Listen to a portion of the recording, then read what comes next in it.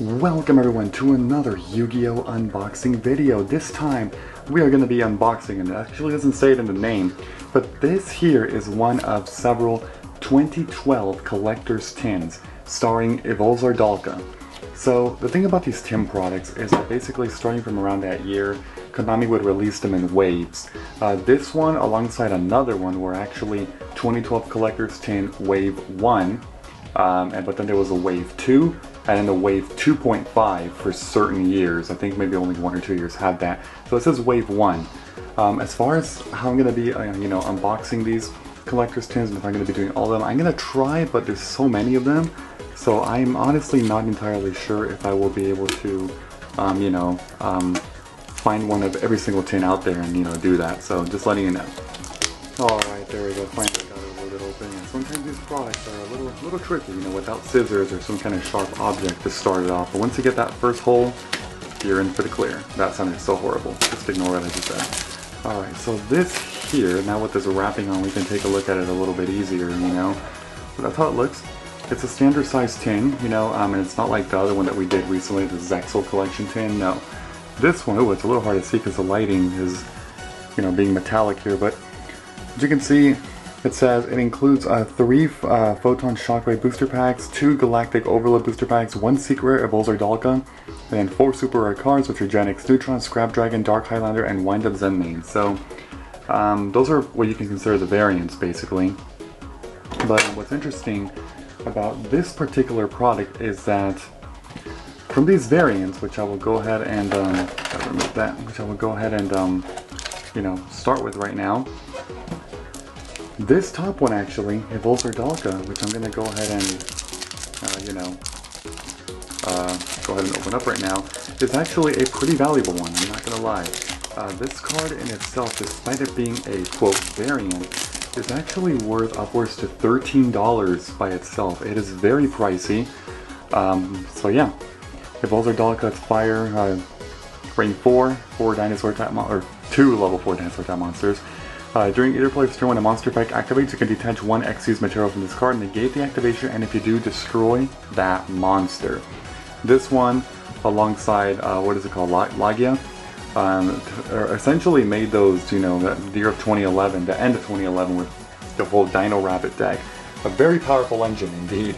So, yep, gonna go ahead and put that one there. We got a couple others.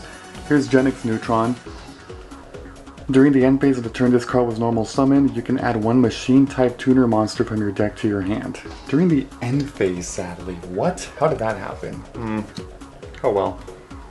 Scrap Dragon is next. This was definitely a very good card back when it first came out. It's generic. You can target one card you control and one card your opponent controls, destroy them. That might sound bad, but if you know anything about scrap monsters, the scrap archetype, they want to be destroyed because they trigger effects. When it's destroyed by your opponent's card, um, target one non-synchro scrap monster in your with special summon it. See? If this card gets destroyed, that's what I'm saying. So, yep. Uh, next one is Dark Highlander, another synchro. This one is Fiend though. Either player can synchro summon. Once per turn, you can target one monster opponent controls that is equipped with an equip card. Destroy all equipped cards equipped to that monster, and if you do, inflict point damage for each card destroyed.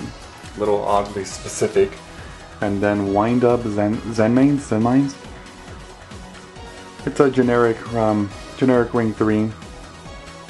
Yeah, but there we go. You can detach one of the material once per turn during end phase of this card. Target one will destroy it during the end phase again. So, if you're wondering, uh, all four of these cards at the bottom are not worth anything. They're not valuable at all, but um, Evolzar Dolkka, once again, let me go ahead and show it to you one more time like this, is worth upwards to about 13 bucks. So we're just going to say 13 bucks in terms of price for estimation here, but yeah, that's a good card.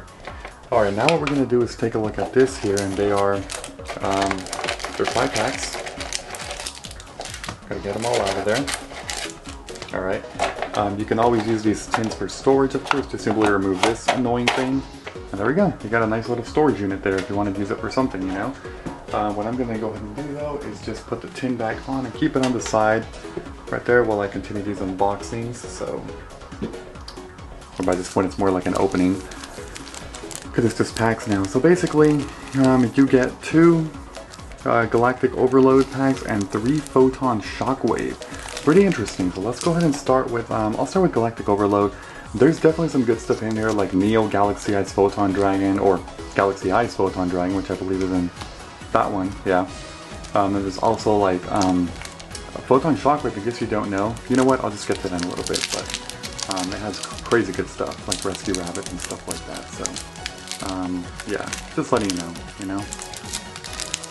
Alright, having a little bit of struggle here. There we go. I like, what's happening? Okay. Alright. Let's see, we got Hieratic Seal of Supremacy. Special summon one hieratic monster from your hand. Whoa, okay, good good stuff there. Light Ray Daedalus, oh my god. I always thought this was interesting. Cannot be normal summoner set, must be a special summon from your hand by having four or more light monsters. And your graveyard cannot be special summoned by other ways.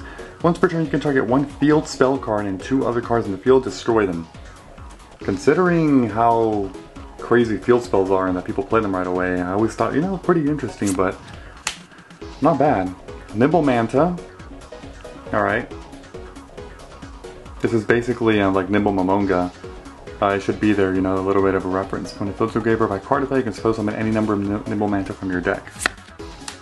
Hieratic Seal of the Sun Dragon Overlord. Look at that. Zero attack, zero defense. Level 8. What the heck? What's next? Dimension Slice. When a monster is special summoned to your side of the field, Target one piece of monster opponent controls, banish that target. If the summon is an Xyz summon, you can activate this card to turn it with set. Alright. Okay, we got number 25, Force Focus. Wonder how valuable this one is. Two level 6 monsters, once per turn during either player's turn, you can detach one Xyz material from this card to target one face-up level 5 or higher effect monster opponent controls. Negate the effects of that opponent's face-up monster until the end of the turn. Whoa, pretty good for a negation. It's just a shame that it's two level 6 monsters. It's not exactly an ideal engine, unlike 4s and stuff, you know? Alright, so I'm going to put this stuff over here on the right side, actually. Um, Inzektor Firefly. Okay, we got some Inzektors in here, as you can see. Pretty, pretty cool, right? Pretty cool. Uh, and then we got um, Butter, Butterflyoke, alright? And lastly, Moonlit Papillon. This is for Butterfly.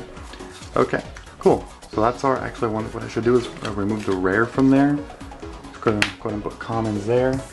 The rares go over here. All right, here's pack number two. We're gonna do this. Okay, same one as before. Got another hieratic seal of the sun, dragon overlord. Okay, so sorry about that. I have to, have to uh, take care of something really quick. All right, but that's that one. Inzektor ladybug. Okay. The Momenta again. Getting all these repeats, huh? Hieratic Seal of the Dragon King. Now this one I don't believe... Oh, it's a Gemini monster. This one I don't believe um, I had actually gotten any other pack. No. Hieratic Dragon of... Of Tefnuit. Oh, I, yeah, that's right. I know, I know this one. I was like, what the heck? Okay, so that's the rare. Let's see, and... Ooh, nothing. So it's crazy that I pulled an Ultra on the other one. Inzektor Earwig. Sounds good. Hieratic Dragon of Nuit. The other one's Tefnuit. This one's Nuit. Okay. Nitwit Outwit. What the hell? Okay, and then Butterflyoke. Same one as before. Okay, so that's that. That's it for that pack. Now it's time for the Photon Shockwave packs. let's go ahead and see what we got here. I'm very curious about this because Photon Shockwave is actually one of my favorite sets. I don't really think I've ever really mentioned that, but it is. Shark stickers. Okay. Just gonna go ahead and put these in a new pile here, I guess, because you know, technically it's a different pack. So, Fiery Fervor. Okay. A Traffic Control. I cannot declare an attack, got it, okay. Sealing Ceremony of Suiton. Gavelsaur Volcano. When this card is special summoned by the effect of an Evoltile monster, you can target one Evolsaur monster in your graveyard. Special summon that target. It cannot declare an attack. Let's see, let's see. Oh my gosh. Oh my god. People, we pulled An ultimate rare. What the heck? This is an ultimate rare. I know sometimes it's kind of hard to see on camera, but not really. I mean, the easiest way with newer ultimate rares is that you can actually see the, the, uh, oh my god, now it's dark. Hold on. There we go, much better now. I accidentally blocked off the, light and it's turning dark, but as you can see, it's not handling the ultimate rare very well because it's making it dark. Whoa, Photon Veil. Shuffle three light monsters from your hand to the deck, then add one to three level four lower light monsters from your deck to the hand. If you add two or more monsters, they must have the same name.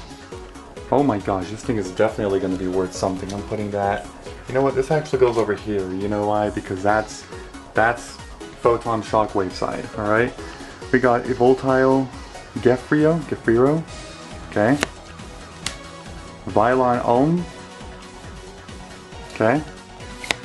And Zen Meyer. Zen Meyer. Okay. Well, that's cool. It's all good. Alright, so I'm just gonna put the commons over here now. Guess I'll just put the rare. And we're kind of running out of space because I'm trying to put everything, you know, here when I probably shouldn't be doing that, but it's fine. It's all good. Alright, next pack. We got two more. Alright, here we go. Rai Rider. That's our first one. Evolutionary Bridge. Alright, that's for Evoltile. Wind Up Bat.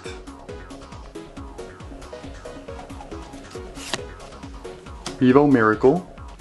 More Voltile. So much of Voltile. This was this was the age of Evoltile, you know? Photon Cerberus. That's the rare. During the turn this card was normal summon, neither player can activate trap cards while this card is face up on the field. Let's see what we get. Oh, nothing else. We got Rabidragon though. I'm gonna put the rare over here. We got Rabidragon, okay. Cross Attack. One thing I should mention is that Rabidragon technically has more stats than Blue Eyes. Um, 50 less attack, but look at that defense. If you add it up, yep, more attack. The same little random fun fact, it's not really relevant. Cross attack, Laval Lancelord, okay. Cool. And lastly, Champion's Vigilance. Alright, that's it for that. I'm gonna put the commons right over here. And we got one pack left. Can we pull something great? We've actually already gotten two. I mean, we, we have two cards that for sure are valuable. The Ultimate Rare Evolzar Dolkka. Um, we also pulled an Ultra Rare, which I believe has some value. I need to take a look at that, but a Traffic Control, okay. Sealing Ceremony of Suiton, same thing again. Rai Rider, same thing again. Evolutionary Bridge, same thing. We're pulling all the same ones. Copy Knight. And a level 4 lower warrior type monster is normal summon to your side of the field. Special summon this card as a normal monster card with the same name and level as a normal summon monster. Still treated as a trap card. And okay, we at least pulled a super rare. I mean, I'm not complaining there. You know, I don't think it's going to be worth anything, but it's something. Tribute one dark monster with 1500 or more attack. Destroy all monsters that were special summoned this turn. Cool. That's a super rare. Nice. I will take that. I'm going to put this over here. And our last ones, we got a Rabidragon. We've already seen that before. Cross Attack. I don't remember if I actually... Did I see that one? I don't know. And then Laval Lancelord. Same thing as before. Okay, we got a lot of common duplicates. I didn't notice that. Alright, let's take a look at some, some values over here. Alright, so I'm back with this, and sadly there really wasn't too much here, believe it or not. Um, so Dark Knight, despite being a foil, is not worth anything. Same thing on this pile with all those. The Boulder Dock is worth 13 bucks. This card is worth about 150 to 2 bucks, so I mean, I guess we can round up to be a little generous for ourselves on the $2 in a good day. And this card was actually one of the less valuable um, Ultimate Rares. It's worth about $3. I was surprised. I was literally shocked. I was like, what the heck? But you know, it's worth three bucks. So if you do the math, uh, that's, you know, 16, 17, 18, maybe a dollar in bulk, uh, maybe a little more. I don't know if you want to go round up to 20 bucks in a very good day. Uh, the product I didn't mention, but from Amazon you can get this for approximately $26. So if you get some pretty good pulls, you can profit off of this fairly easily because this card already gets you half of that uh, that expense, 13 and 26 for the whole thing. So pretty interesting, pretty good, but I do highly recommend stuff like this, tins that are not so overly priced because you can actually get some pretty good pulls. So anyway, uh, if you enjoyed this episode, this video in any way, leave a like, comment, and subscribe, and I will see you all in the next one. Bye-bye everyone, have a great and of course, a fantastic day.